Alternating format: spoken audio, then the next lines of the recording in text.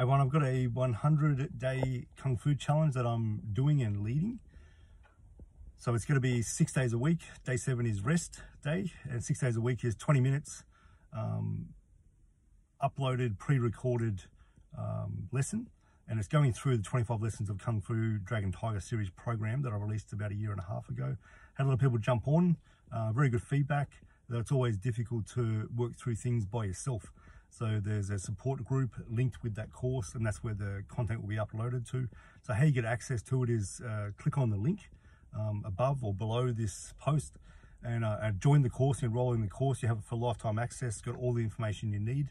And I'm going through the course 20 minutes at a time. And we're doing uh, what the benchmark, what the standard is we need to uh, acquire to be able to demonstrate with your own body before we move on to the next part. So it's very uh, experiential, interactive.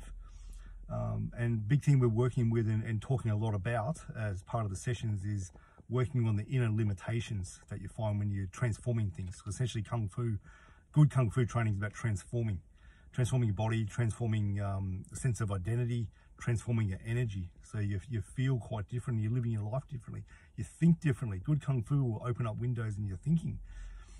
So one thing you'll find you encounter limitations. So might be time limitations, energy limitations, um, deep stuck um, belief systems in the subconscious that are, you know arose through childhood that you don't need, don't need to use anymore, but are you know affecting your ability to progress in your life.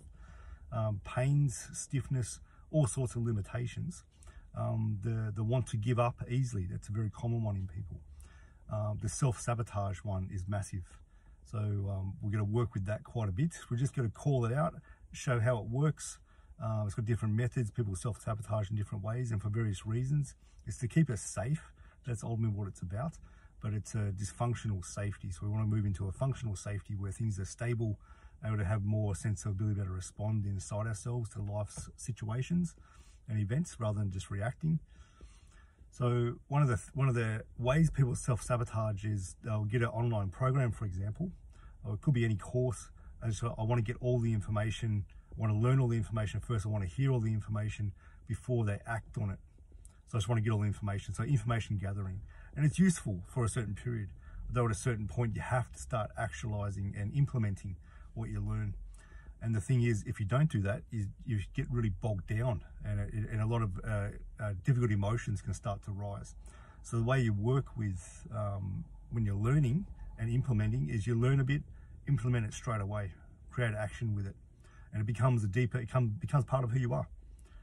So it's an easy way to do it. If you're doing deep inner work where you're bringing up things from the subconscious to integrate, understand, to become a more, uh, uh, you know, stronger character, um, less reactive, um, less pain inside, all that sort of stuff. The way you work with that is you don't you don't dig it all up, thinking I've going to dig it up and then I'll work on it. No, you dig up a little bit, work on it, action it, implement it, and then you dig up some more action implement. That way you actually have a lot more control over the process of what's going on in the subconscious mind and you have success. So if you just want to dig it all up it's already a self-sabotage mechanism there.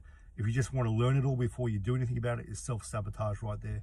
And um, I've become quite good at it these days just seeing it right at the start the way people talk. I can see oh, there's self-sabotage running. And it's very common in people. It's normal though it can be changed so we've got to deal with that sort of stuff. We've got to work with it in a really uh, positive, empowering way in the course. Come join us.